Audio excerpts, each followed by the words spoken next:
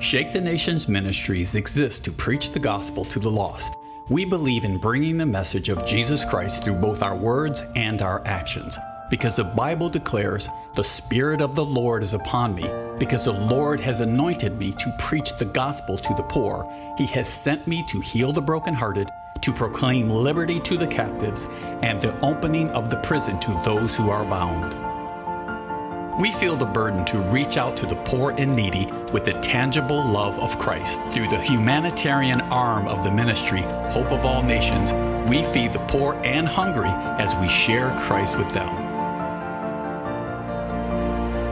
During one of our recent Hope Food distribution projects, we met a young boy, Joshua, in dire need of medical assistance. Joshua is six years of age and required medical surgery to repair a birth defect that left him extremely vulnerable and at high risk for infection. This condition caused him to eliminate waste through a hole in his abdomen for the past six years. He lived a very isolated life, not attending school or playing with other children due to his condition. Being the hands and feet of Jesus meant that we could not just leave him in this state.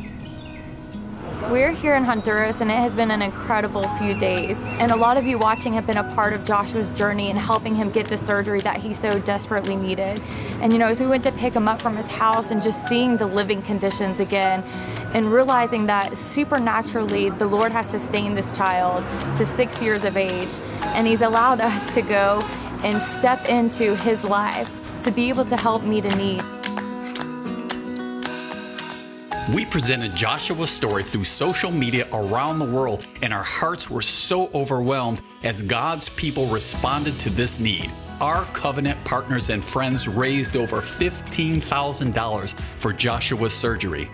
To know that we were able to not only touch a child and change his life, but seeing two parents give their hearts to the Lord because their prayers were answered, prayers that were made out of desperation for their child to have a surgery that would just be typical in most other countries of the world.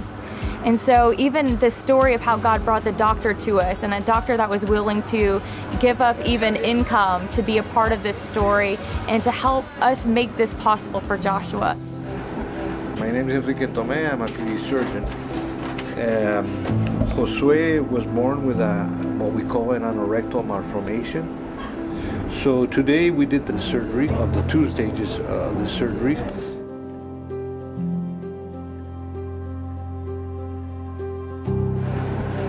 So right now we just need him to heal up this wound. Hopefully today's a Tuesday, hopefully we'll be Saturday letting him go. Jose, decir hola? It all depends on on how he behaves in the next few days. Great. But I, I'm, I'm feeling optimistic because the surgery went without problems and uh, Josue is a fighter, so I think he should do fine.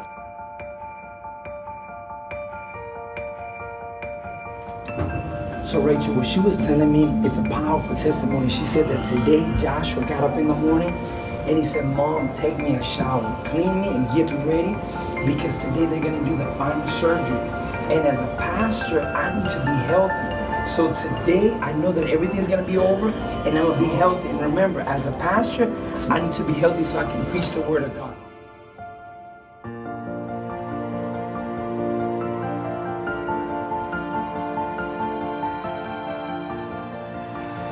We're here in Honduras, and Joshua's just had his second procedure. It was a complete success, and so we're just expecting Joshua to be completely normal, thanks to everyone at home that was able to be a part of this work.